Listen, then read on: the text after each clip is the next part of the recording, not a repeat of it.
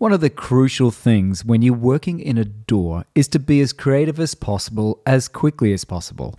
And one of the most important issues when it comes to workflow is how long it actually takes you to set a project up before you can start being creative.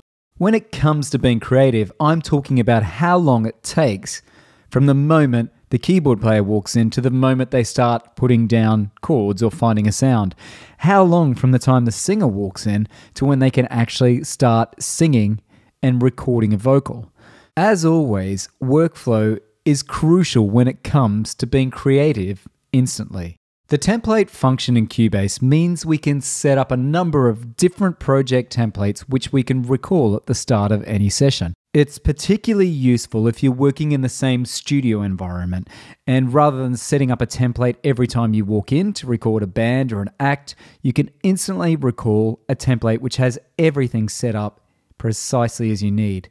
It's equally important if you're working from home or in a project studio and you're working with a group of musicians or artists who are coming in regularly and you know their vibe, you know what they need. A good example is I've been working for nearly a minute 20 now on setting this project up, and all I've achieved is really four lead vocal tracks, two effects tracks, a group track. I've set up a group folder just for the lead vocals. I've named it, and I'm only just starting to color code these different tracks. Now, it could take me another 10, 15, 20 minutes to set up the template alone for the group that I want to record today. And that's 10, 20, 30 minutes. They're sitting around, nervous, waiting to be creative. It's way too long, and in this video, we're going to sort out how you can have templates ready to go so that people can be creative as soon as they walk into your creative space. One of the crucial things about setting up a template is deciding exactly what you're going to need. What are your go to tracks? So, for example, if I was, say, recording a demo project with even just one singer, I would probably need a number of lead vocal tracks, as I've got here, a number of backing vocal tracks. I'd need a reverb and a delay so it sounds okay.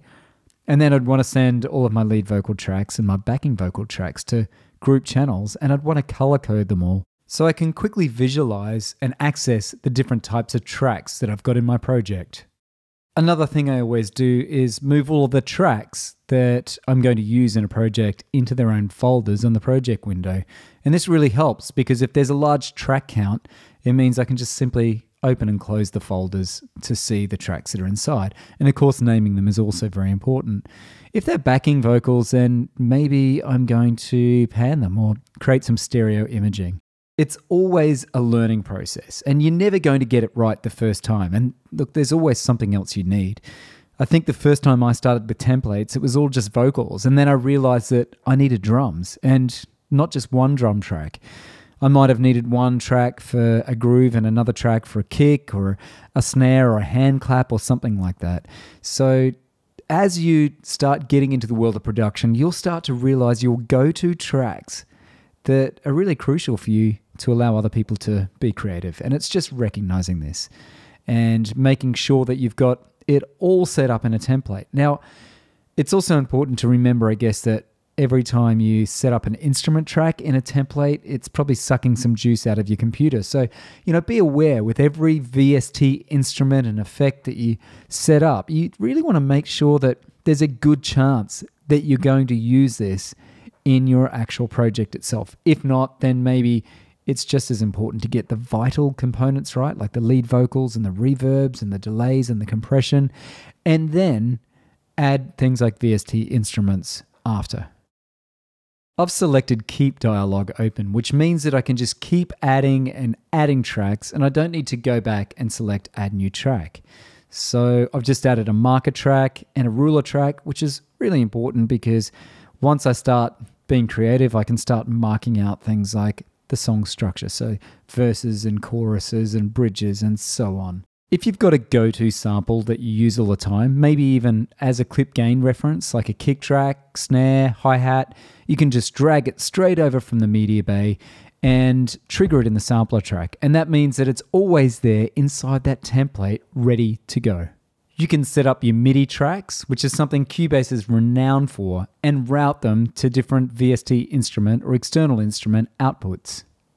It's not just about the typical tracks you may use when you don't have time to actually think about your entire workflow.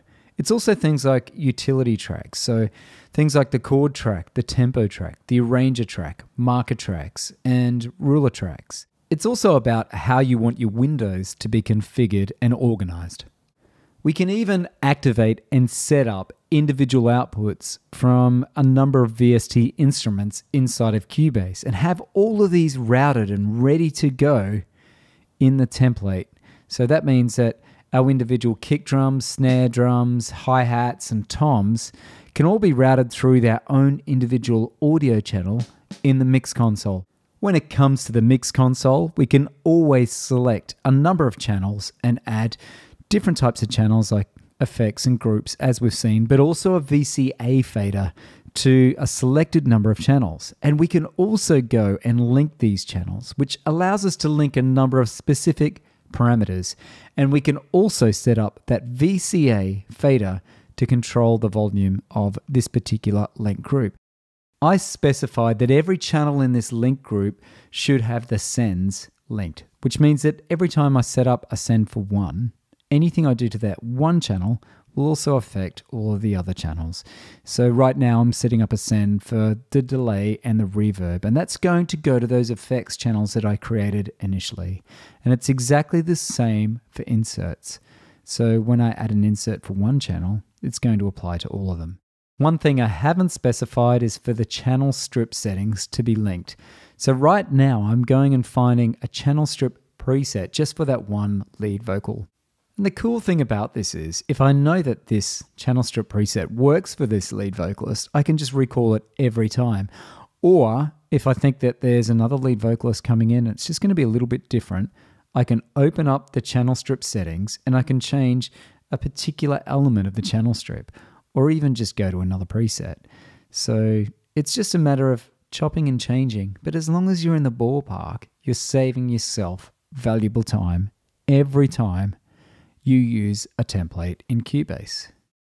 I'm speeding this section of the video up, but really all I'm doing is naming tracks, moving them into folders, and color coding the different types of tracks. And this is not just so people can be creating music almost instantaneously, it's also so I can be right on top of my production. When you've finished organizing this template, the last thing to do is to save it. So you can go up to File and just go down to Save as Template.